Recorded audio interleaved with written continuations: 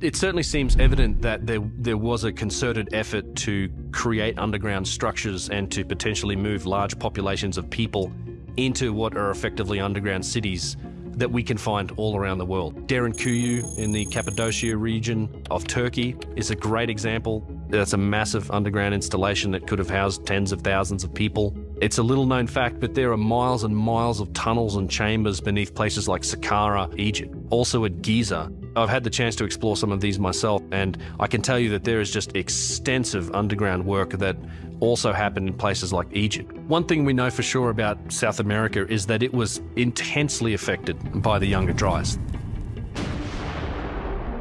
In some places, almost 80% of megafauna died off in South America. There was tremendous climate change that occurred during the Younger Dryas. So at some point, it definitely seems like there was a, a real effort to move underground potentially to protect themselves from what was happening on the surface or protect themselves from the sun.